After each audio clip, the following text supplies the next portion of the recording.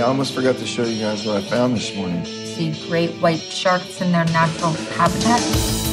It's awesome. This is for tourists. You really want to spend all day on a boat.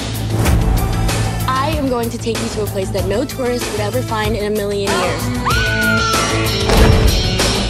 How did you even find out about this place? Let's go. Okay, turn your lights on. Sasha, you can barely get your ass through there. Well, at least I have an ass. The entrance is just at the bottom of the steps. You guys ready for this? Whoa. This place is insane. What is that? It's an emergency alarm. Can you feel that?